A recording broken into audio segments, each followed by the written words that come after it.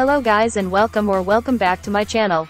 Like you've seen in the title, today I'm going to react to Xikers' new album, House of Tricky, How to Play.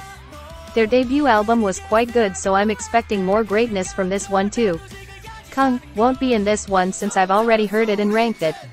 With that being said, let's start. Hello guys before starting this video, I wanted to present you a new K-pop merch shop, Utopia Land. It is owned by my friend and I'm trying to help her. Says she designed it herself, right now it's mostly BTS but she is planning to add some other K-pop groups so you can leave your request for her in the comments below. Anyway she ships everywhere in the world, I would leave the link of her shop either in the description or in the comments section. Please go check her work. Now let's start the video. Once again, I don't think the autotune was necessary here, it just make them sound a bit weird but it didn't ruin the song for me though. It was a carefree and beautiful song, the vocals carried. They sounded so good, the chorus was the best part. It got stuck in my head after the first listen. A great start, 8.3, 10. Each verses this song kept surprising me in a good way of course.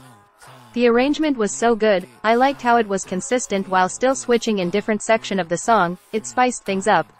I can see myself listening to it sometimes while driving around, it was good 8.2, 10. It was an okay track. I liked how they mixed punk with the typical K-pop elements, also the sing-along rock chorus was fine too. However, I personally don't see myself listen to it ever again. Also the autotune for the rap verse was not necessary here, so I found it a bit weird. It would be a fun song to perform though, I give them that.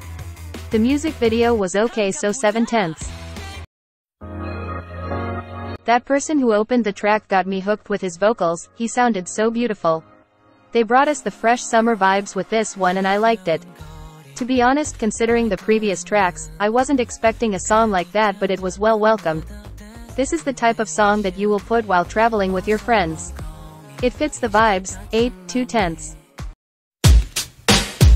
Oh we're ending on a old school hip-hop, EDM track. It was quite good, I liked the chill vibes. The rappers and the singers complemented each other perfectly in this one, they all sounded really good. I especially liked the chorus, it was the best part for me. A great ending, 8.2, 10. This was a pretty good album, compared to their debut one I definitely like this one a bit more.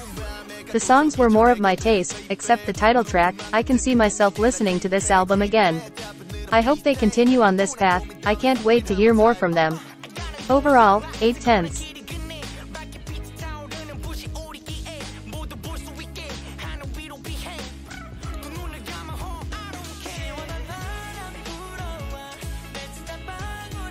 I am already seeing GA sign if it can T improve with this album. I am definitely even more looking G forward to their future releases.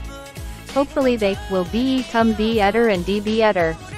Well that's it for today, S video, I hope you all enjoyed it. Don't t forget to like and d subscribe. Also tell me your thoughts about this comeback in the comment section. I will see you in the next on E, love you